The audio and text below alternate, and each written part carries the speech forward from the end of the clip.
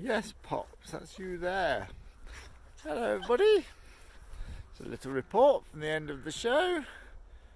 Popper guy's been doing a little bit of flying, haven't you?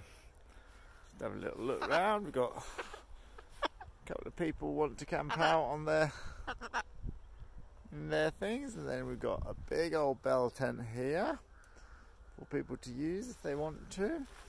And the good bit is, if you look over here, got a little chimney, little firebox in there, keep everybody warm.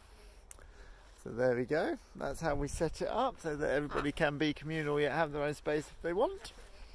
And everybody's close to the horses. So the horses have done two shows, which has been they've been great actually. Those shows. We've got we've got here. There's Romeo. Romeo's first time on the Isle of Wight.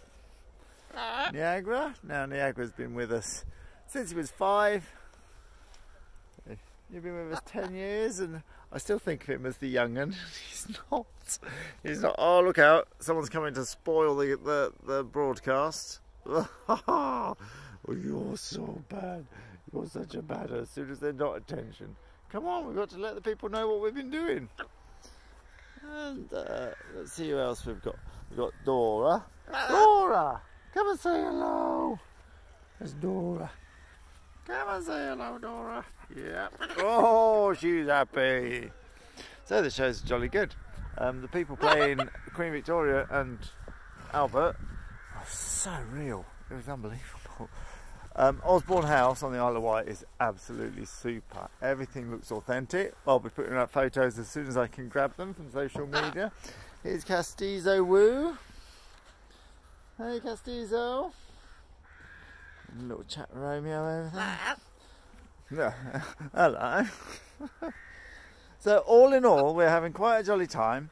The shows are going down very well. Our Russian guests can't believe the the quality of the house and the trip over to the ah. Isle of Wight and how beautiful everything is. And we'll put on plenty of photos. So there we are. A successful first day. We're here tomorrow and we're here the next day. So fingers crossed you can come and make it. See you later. Right, Popper guy, go over there and press that button to turn that off.